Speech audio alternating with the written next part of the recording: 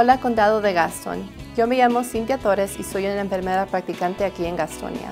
Cuando estén preparando a sus niños para el año escolar, las mochilas y las loncheras son importantes, pero no se les vaya a olvidar las vacunas. ¿Sabían que los estudiantes que van a entrar al kinder y a los grados 7 y 12 son requeridos por la ley tener ciertas vacunas antes de empezar la escuela? Es cierto, y las oficinas médicas se ponen muy ocupadas ya que vaya a empezar la escuela, así es que programen sus citas ya para evitar retrasos. No se tarden, vacunen a sus niños hoy.